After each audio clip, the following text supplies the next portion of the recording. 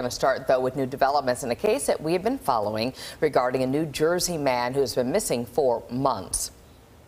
Come on, get up. Sit up right here. Pero espera. Fox 5 has obtained police body cam footage showing Felix de Jesus in handcuffs in the back of a Paterson police vehicle the night he went missing last February, and now his family says this footage has left them with more questions than answers. Our Stephanie Bertini is in Paterson tonight with the latest. Stephanie. It's been tough to get answers from officials here in Paterson. The video you're about to see, though, shows extensive interaction with law enforcement. This is 41 year old Felix de Jesus, as identified by his family.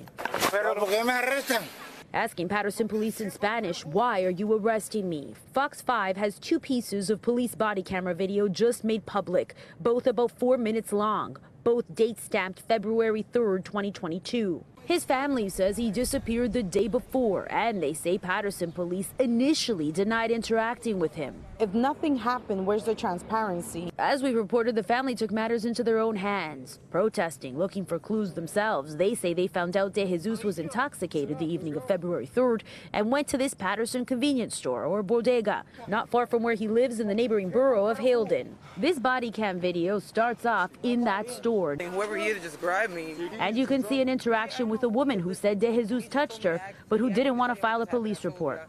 I just want to go back to my house. In the video, De Jesus is mostly speaking Spanish. He tells officers his hand is broken. What the video doesn't show is where they ended up. I'm concerned that we did not get the full scope of what's on the body cams. Haledon police are handling the missing persons investigation. The department says after being conveyed by the Paterson Police Department from the area of Marion Street and Union Avenue to the intersection of Preakness Avenue and Front Street, Mr. Felix Joel de Jesus was last seen by five civilian witnesses congregating in the area of Westside Park. It goes on to say that the whereabouts of Mr. de Jesus thereafter remain under active investigation.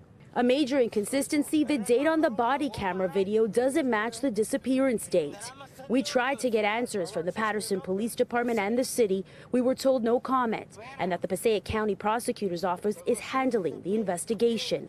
In a statement to Fox 5, the prosecutor's office said the existence, target, nature, and progress of internal affairs investigations are confidential, and neither the Passaic County Prosecutor's Office nor the Paterson Police Department will provide any comment regarding the existence, substance, or findings of any such investigation.